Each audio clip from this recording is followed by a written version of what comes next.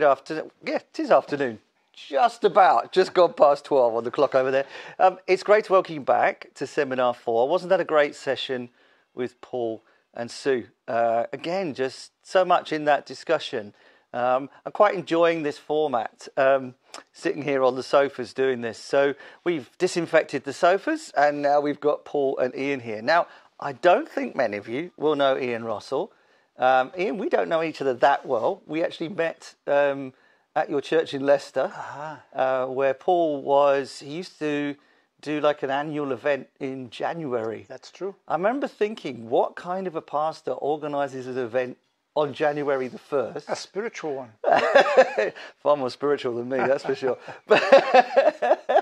uh, but it was great, and it was Great way to it- start the year. it- yeah, I can imagine it was actually. Um, Ian, just to, uh, to you're married to Marge, Sure. and uh, you're now living in Scarborough. Yes, we relocated here a couple of months ago. Uh, currently living with your son and his wife. Yeah. Uh, I can't remember his name. Uh, that's Andy and uh, Harriet, and our grandson is Rupert, so he's lots of fun to be with. Yeah, I could remember Rupert because Right. my grandson, of course, is Reuben, so it's two Yeah. Rus. Sure. Uh, and they're, they're, they're quite. They're, he's a Rupert's a little bit younger than uh, than Reuben, but Yeah. The same crazy characters, I think, Ah, by all accounts. fun people. Yeah. Well, it's great to have you here. Thank I'm you. really looking forward to uh, having you with us. You may have noticed he's not got a very strong Leicester accent. I'm not sure you'll spot where he's from by his accent at all. Um, but no, Ian, it's great to have you here. So um, please, after you. Thank you. Well, rather than leave you guessing, I'd rather be clear and say uh, I am actually from South Wales, and uh, I grew up there, but left to go to university, and uh, really have lived in England most of my life. Uh, married an English girl, have four English children, so uh, a lot of connections here in Yorkshire, where all our children were born. Um, it's an absolute joy to be able to be here to speak to you. A joy to see Paul and Sue, who I haven't seen in person for 18 months, and uh, just great to catch up in between sessions. This is the joy of the lockdown being lifted. Uh, the reality is that um, it has been a supremely challenging time this last 15 months plus. Uh, it's a time of our lives that all of us who are living have never been through before with having the pandemic and the social distancing and the lockdown and the associated things that come with that. And uh, as we're coming out of lockdown, there's a phrase that has been resonating around in my heart that I would like to open up with you today. And that phrase that the, the Lord has put in my heart is gentleness and tenderness toward weakness. And even if we didn't know we had any weaknesses, surely during this pandemic they've all come to the surface. And we have experienced negative emotions, negative circumstances, and things that perhaps have been buried and hidden have come to the surface in our hearts and lives. And uh, I am included in that because my nature is an extrovert. I love being with people. And there have been real blue days that I experienced by not having the option and the privilege of connecting with people, meeting with them personally, physically. There is something about physical connection that God made us in His image to be like. And uh, we've, I've missed that, and, and other people have missed that. That is small fry to what, compared to what some people have been through. Uh, people who have been had businesses uh, have gone through dire times as they've not been able to trade, and worse than that, um, in this country, over 100,000 people have lost their lives to the pandemic. When you go across the world, the stats are so much higher. And uh, it comes home personally when you have friends who have family in other parts of the world. Like I was speaking to my friend recently who has family in India, and whole swathes of his family relatives have been wiped out because of the rampant Indian variation of the COVID virus. So, we've all experienced weakness. The thing is that the pandemic does not have the final say King Jesus has the final say because Amen. he is King of Kings. He's over it all. And I want to just take your attention to a scripture in Matthew chapter 11. Uh, this is Jesus speaking 2,000 years ago, of course, when he was in a, a body on this earth. But the reality is, because he's the eternal one and the unchanging one, his words still carry the same resonance, value, and authority that they did 2,000 years ago. So I'm reading from Matthew chapter 11. Here's a few verses. This is what Jesus says Come to me, all you who are weary and heavy laden, and I will give you rest. Take my yoke upon you and learn from me, for I am gentle and humble in heart, and you will find rest for your souls. For my yoke is easy and my burden is light. And in the midst of all that's gone on, these words of Jesus are as relevant, applicable, and valuable as they've ever been. And his invitation is, Come to me. He's inviting us into even deeper connection, even into deeper relationship, simply because everything we need for this life, as well as for the godliness that we desire, is to be found in Jesus. And he uses this amazing imagery and metaphor come to me and take my yoke upon you. Come and come alongside and align your hearts and your lives with me. Allow my rhythm of life to become your rhythm of life. I have a way of living that is divine, it's supernatural, it's heavenly. I want to train you in your true identity, which is to be with me, to live like me, and to represent me to the world around you. And so the invitation is there to come to be yoked to him and to learn from him. And the amazing thing is, he describes himself this way For I am gentle and humble in heart, and you're going to find rest for your souls. When Jesus expresses what he is like, we really need to give attention to it because it's not only a revelation of Himself that enriches our hearts and our souls and our lives, but because we were made in His image and in His likeness, actually, this is our destiny and destination to become like Him so that if He is gentle and humble in heart, then we are destined to live his life, to be shaped by his heart, and to carry gentleness and humility to those around us. And, and because he loves us so much, his love is so gentle, he, he knows how we are made. He, he, he has taken human form. He understands the frailty of humanity, and he is never harsh with us. And one of the things that I've had to learn, and I guess I'm still in the process of learning, is I must put on my own life the same value system and attitudes that Jesus has. So if he is gentle with me, I have no right not to be gentle to myself. If he is tender hearted, which he is, then I am to be tender to me because actually we can't represent him well to others in gentleness and tenderness if we are not first of all living in the abundance of his gentleness and tenderness to ourselves. So he says, Come to me, learn from me. I'm gentle, I am humble in heart, and you're going to find rest for your souls. And of course, because he is the Prince of Peace, he is able to bring us into the rest that he enjoys.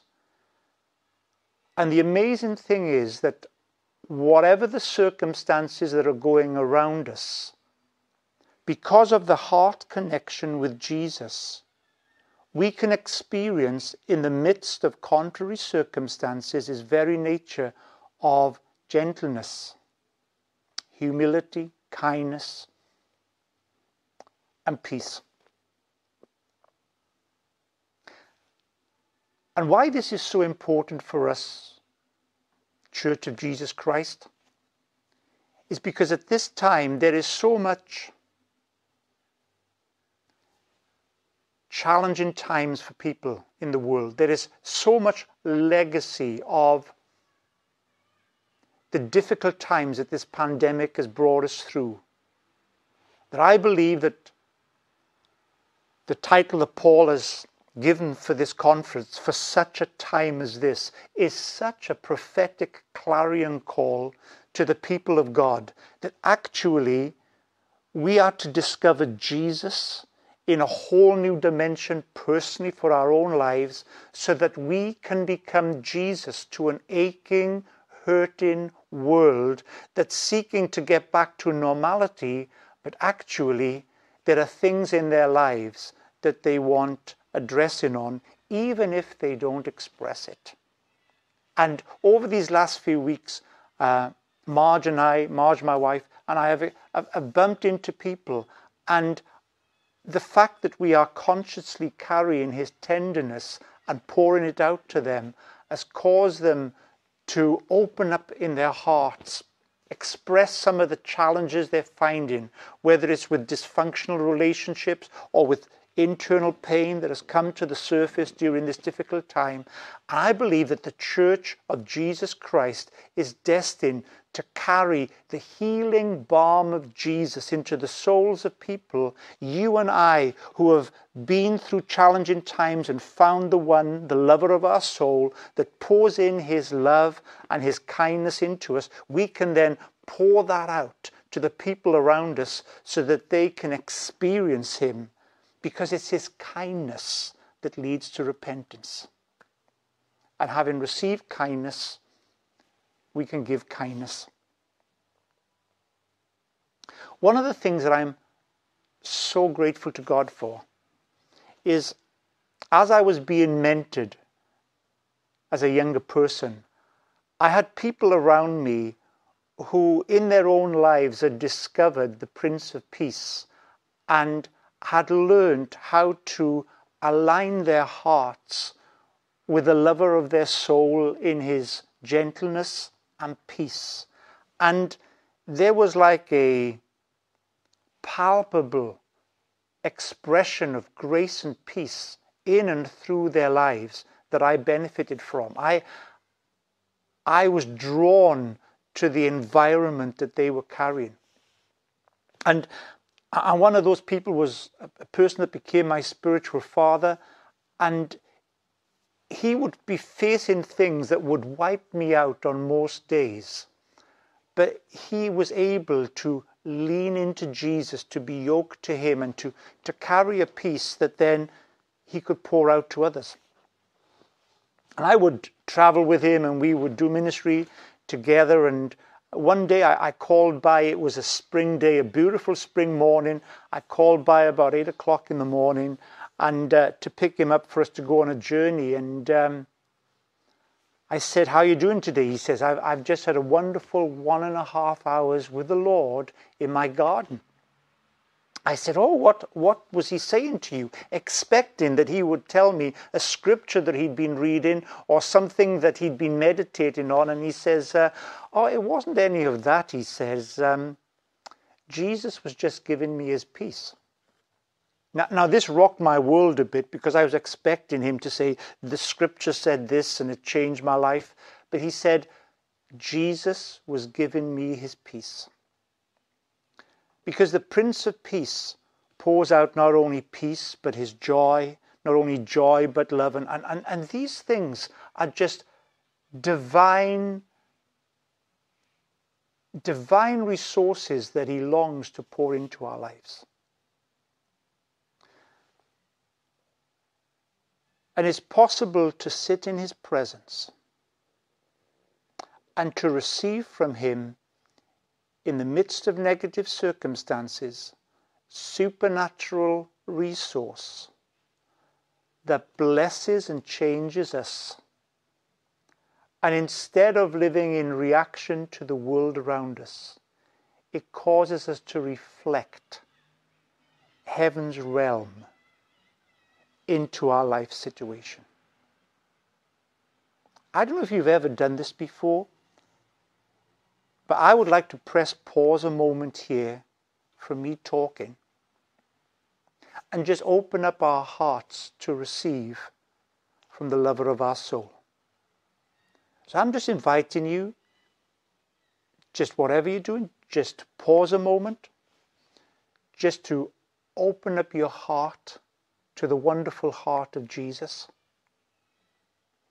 Because he is the unchanging one who loves you with an everlasting love, whose peace wants to heal and restore your soul, and whose joy he wants to pour it in to gladden your heart. So, right now, where you are, I'm just inviting you to focus on Him. Receive from who He is, because He's still saying, Come to me. And His yoke is still easy, and His burden is still light. And receive out of the enormous abundance of spiritual riches that He carries. Let your heart be secured in His love. Let the storm come to peace. Let the concerns disappear in the light of how wonderful and marvelous Jesus is. And I bless you to know Him and to know His peace, to know His tenderness and gentleness toward you, so that you can carry it into every situation you go. This is an amazing privilege that we get to be carriers of Jesus and imparters of who He is everywhere we go. And right now, there's a waiting world. There's people who have lived through this pandemic and have lived with legacy that is not good. I believe there are divine appointments coming your way where, in carrying Jesus, you can pour what He's poured into you into others to bring blessing and relief. It's the kindness of God that allows people to repent and invites change into their lives. So I believe this can be probably one of the finest moments for the Church of Jesus Christ as we get shaped not by common culture, but by be shaped by what comes from above so that we can reshape the culture to bring God's nature into our world. I honestly believe this can be our finest hour. We have come to the kingdom for such a time as this. And so, as we are coming to a close here, I'd like to speak over you this powerful prophetic declaration from Isaiah Arise and shine, beloved ones, for your light has come. The glory of the Lord is in you. He rises upon you. And he intends that although darkness may cover the earth, and still there are challenging times out there, none of them are too big or too difficult for his magnificent resources. So arise and shine, your light has come, the glory of the Lord rises upon you, and you are destined to bring his nature, his life, and his blessing not only into your own life, but into your family, into your neighborhood, and into the places where you go and live. I bless you to be the carriers of His glory that you were always destined to be. I bless you in Jesus' name. Amen. Thank you, Ian. It's really good to hear from you. I hope we'll be hearing more from you in the future. I'd love to. Love Um, to. I think just as we come to an end, then, um,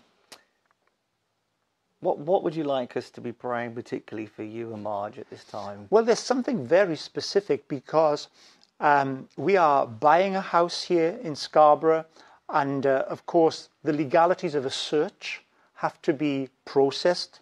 And uh, there was one thing holding it up, which was the fact that there was a, a double water inlet into the house, and that's not permissible. That was sorted out last week.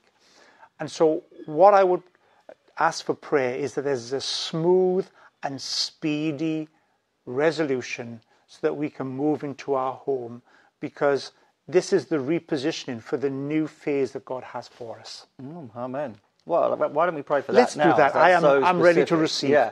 So let's let's join together in prayer, shall we? Yeah. Uh, Ian, we just bring this whole situation before our Father, Yeah. knowing that He has the solutions, and we pray for that quick and speedy resolution to everything else that has to happen, with uh, no further complications Sure. in Jesus' name, and that you and Marge are able to settle very quickly Yeah. into your new home in Scarborough. And Yeah. Father, that that home itself would become such a place of peace and Yeah. blessing, both to you and Marge, but also and to your family. But also, I know that for others that walk through those doors, and for others that spend time with you, Father, as this completes with peace, may it continue in peace. Your shalom on that household and that family. Yeah. In Jesus' name, Amen. I receive. Beautiful. Amen. Thank you, Paul. Thank you so That's much. wonderful. It's it's good. I hope you've enjoyed meeting Ian and uh, that you get a chance to meet Ian and Marge uh, around in Scarborough or indeed here at, in, at Kingdom Faith Yorkshire. Sure. So, uh, in a very short space of time, there'll be a little bit of setting up. We've got Alex and Nigel here to lead us in a time of soaking worship right from this very space. So, they've got to change over and, get that ready. But the plan is half past 12 uh, that they'll be ready.